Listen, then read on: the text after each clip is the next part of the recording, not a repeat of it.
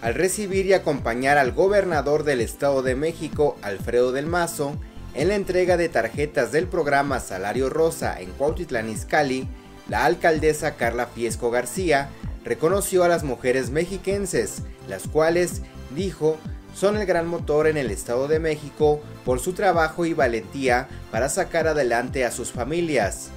Ustedes son ejemplo de ser mujeres valientes, trabajadoras, entregadas, sacar adelante a su familia. Y es por eso que yo les pido a todas y todos que demos un fuerte aplauso a la gran grandeza que representas, a tu liderazgo, mujer jefa de familia. Y a mí no me queda más que reconocer, admirar y darte todo mi más amplio respeto, porque tú eres el gran motor en el Estado de México.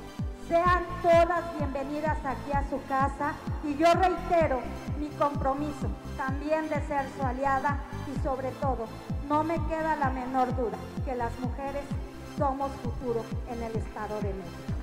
En este evento, donde se entregaron 6.800 tarjetas a mujeres jefas de familia de municipios de la región inscritas a este programa estatal, el gobernador Alfredo del Mazo señaló que el salario rosa fue creado para reconocer la labor de las amas de casa y que pocas veces es reconocido.